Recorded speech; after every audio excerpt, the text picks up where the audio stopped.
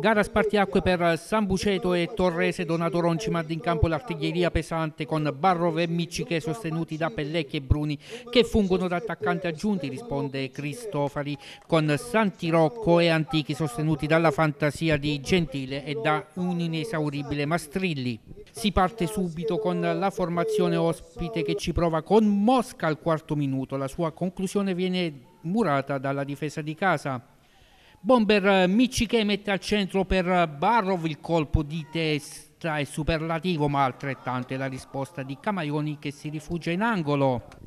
Ci prova ancora il numero 17 De Viola da 25 metri, ancora una volta si fa trovare pronto il portiere giallorosso. Al 35esimo Mastrilli direttamente da calcio di punizione porta in vantaggio i suoi sinistro chirurgico che beffa però sul suo palo di Donato. Proteste di Viola al minuto 42, calcio d'angolo di Pellecchia che mette al centro il colpo di testa di Brattelli per Carrascosa, un eh, probabile tocco di mano di un difensore ospite. Vivaci le proteste ma il direttore eh, di gara fa proseguire. E con le immagini montate da Flavio Forcellese passiamo alla ripresa. Primo minuto di gioco, azione solitaria di Mosca che va via sulla fascia, si accentra, non vuole calciare di sinistra, allora scarica Pertini, conclusione bloccata dal portiere di casa.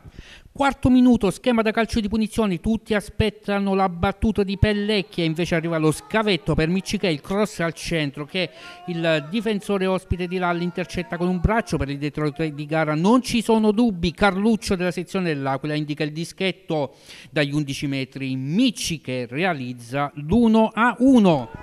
Al decimo minuto Mancini ferma Gentile per Carluccio, non ci sono dubbi, secondo giallo. E cartellino rosso per il difensore, allora a quel punto Ronci corre ai ripari inserendo Sol per Barrov. Sedicesimo minuto Mastrilli, traversone dalla sinistra, pallone velenoso che il portiere di casa smanaccia come può, la palla finisce sul palo. Ancora in avanti la Torrese, Gentile pennella per Selmanai che da buona posizione azione, spara sopra la traversa. Prova a scuotere i suoi Marchion nella conclusione, però termina sull'esterno della rete. Al minuto 26 Micciche cestina il 2 a 1. Camaioni cincischia con il pallone, si fa soffiare la sfera da Bruni che innesca il numero 17, che però centra un difensore ospite. Mastriglia, autentico spauracchio della difesa di casa, innesca Antichi, conclusione deviata in angolo da Dinonato e al minuto 41 arriva il vantaggio.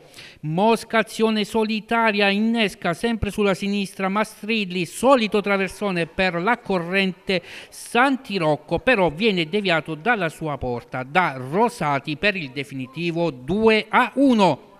Donato Ronci, una partita sostanzialmente equilibrata che è stata condizionata da quella espulsione nel secondo tempo dopo che eravate riusciti a riprendere la Torrese. Ma no, direi che sì, lì purtroppo quello ha condizionato poi l'andamento della partita, anche se la squadra anche in 10 ha fatto, ha fatto una grossa partita. Il primo tempo abbiamo fatto bene, abbiamo avuto una palla importante con Barro, se magari andavamo in vantaggio noi poteva cambiare un pochettino la, la, la, situazione tattica, poi invece il gol l'abbiamo preso su un calcio di punizione, ma non ci siamo disuniti, abbiamo trovato meritatamente il pareggio e poi siamo rimasti in 10 lì la responsabilità la prendo io perché potevo cambiare Mancini un attimo prima però non avevo terzini di ruolo in panchina quindi eravamo corti soprattutto dietro perché pensate ha giocato Bratelli centrale che è un terzino quindi non avevo centrali, non avevo terzini dovevo cambiare il sistema di gioco un attimo prima quindi la responsabilità è, è mia su quella cosa anche se come ho detto prima Mancini deve stare un attimino più tranquillo perché si è ammonito quindi bisogna un attimo stare calmi non ho fatto in tempo a sostituirlo e purtroppo è successo questo. Poi abbiamo avuto una palla importantissima con, eh, con Stefano, magari facciamo gol lì e la partita la portiamo, almeno un risultato positivo lo facciamo. Comunque ringrazio la squadra perché oggi Samucid ha fatto una grande partita contro un avversario di, di, di, importante e non meritava assolutamente la sconfitta. Remigio Cristofori, questa Torrese si conferma implacabile in trasferta, oggi è spugnata anche San Buceto con una prestazione gagliarda da parte dei suoi.